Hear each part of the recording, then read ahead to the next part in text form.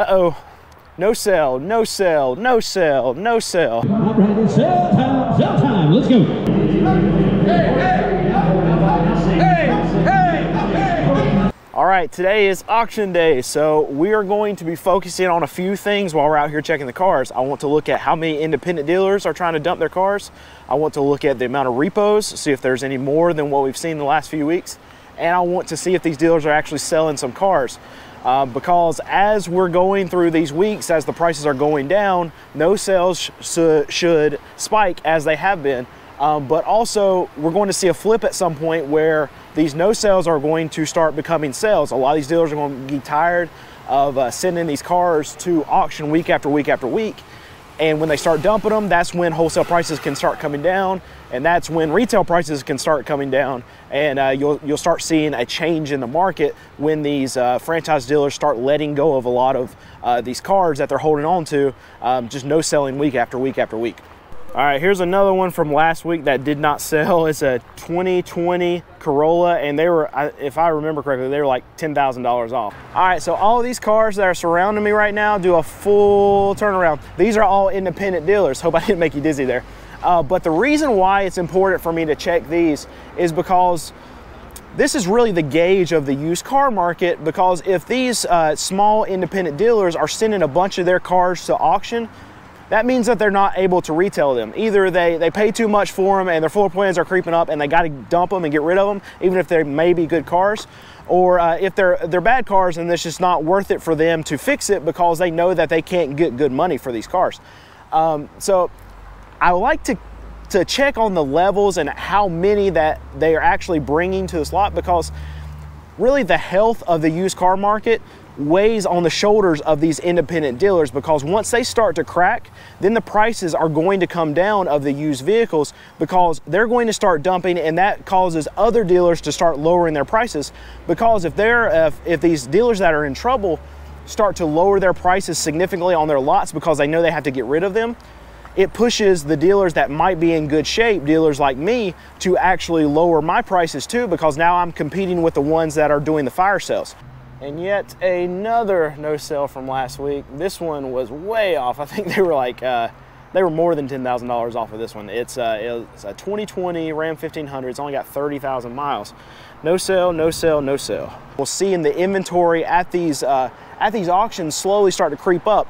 And I don't think it's, uh, it's really a, uh, a factor of these new car dealers getting more trade-ins because they're not selling anymore. Demand's not going up but we're seeing inventory levels at these wholesale auctions go up a little bit. I think it's a factor of two things.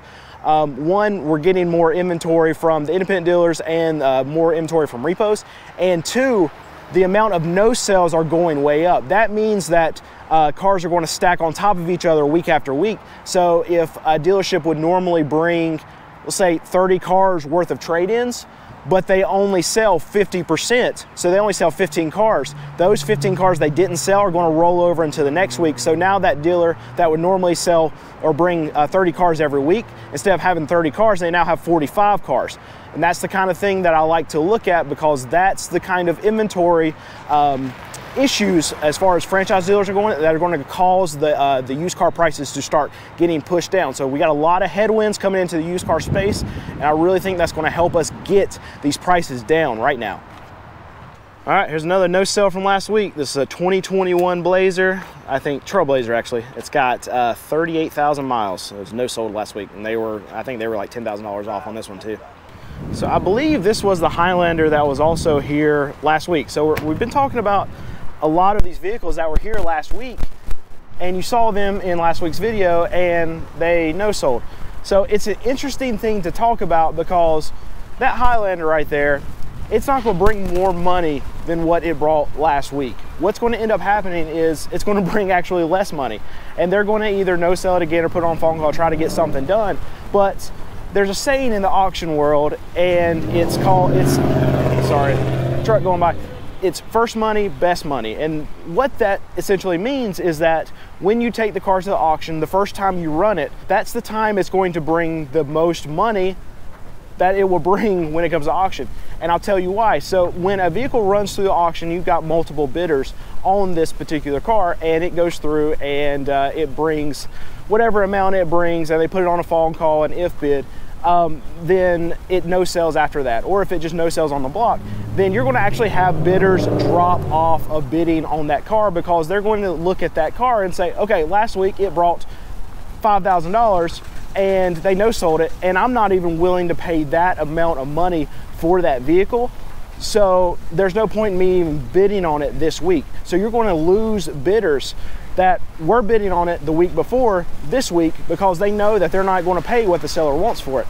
So when you have less bidders bidding on the same vehicle, it's going to bring less money. And that's what happens. Less money, yeah, less money, fewer dollars. I'm getting it right. I'm working on it. Whoever's criticizing me, and I'm talking about my wife too. Um, so when you have these cars that are running through multiple weeks, they're just going to continue to bring less money and then the sellers will eventually dump them. And that's what I've been talking to you so much about with these no sales stacking up. And they are a leading indicator of prices, wholesale prices coming down because these dealers, these franchise dealers hold on to them, no sell, no sell, no sell, and then you know what? They just dump them for whatever they bring. And then you're going to see, all right, wholesale prices slowly come down. And then when all these franchise dealers decide that they're ready, okay, you know what? We got too much money in these vehicles, we just need to get rid of them. Then you're going to see that, that sharp little dip in the wholesale pricing because these franchise dealers are just gonna be like, you know what, enough, enough is enough. Let's get rid of them. Let's move on to the next one. So this car has actually been here for, for uh, I'm sorry, for a few weeks. Words are hard.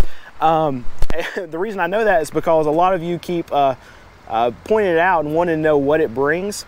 Um, I'm actually not even going to check it out this week because if it's been here three or four weeks, then uh, the seller just wants a ridiculous amount and uh, buyers are not willing to pay it. So I'm not going to be able to give you a good price on it anyway. But uh, just to show you, it's a 2013 uh, Chevy Volt, 72,000 miles and car revving up beside me, but uh, nobody wants it, so we're not even going to check the price on it.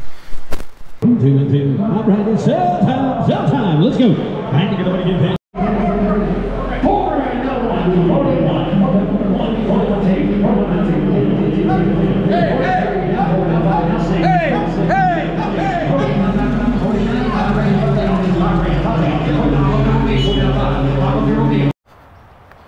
Uh-oh no sell, no sell, no sell, no sell.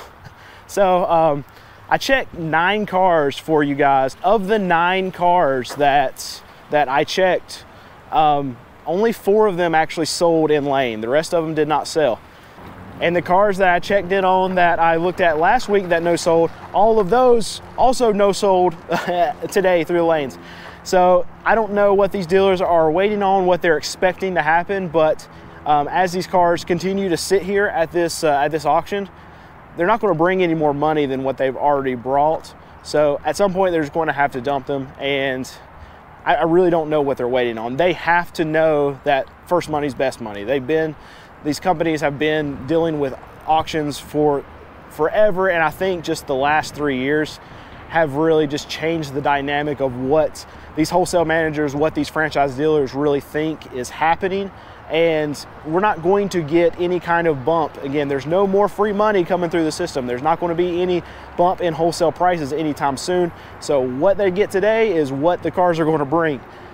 So I don't know what they're waiting for. Eventually they're going to have to dump them, and that's what we're waiting on. And this is the kind of thing we want to see for prices to come down. And uh, while, while it's interesting here at this auction is this is one of the better auctions that I go to. Um, they actually have a better sell-through rate than most other auctions. And for them to be throwing through this many no sales to the auction, that's that's trouble for a lot of these franchise dealers. That means that they uh, they paid way too much for these trade-ins, and uh, they're going to have to dump them soon. So um, that's what we're looking forward to uh, in the uh, in the auction world for these franchise dealers to let loose of some of these cars, wholesale prices to come down, and then that means retail prices can come down for you. That also means that we need to be patient.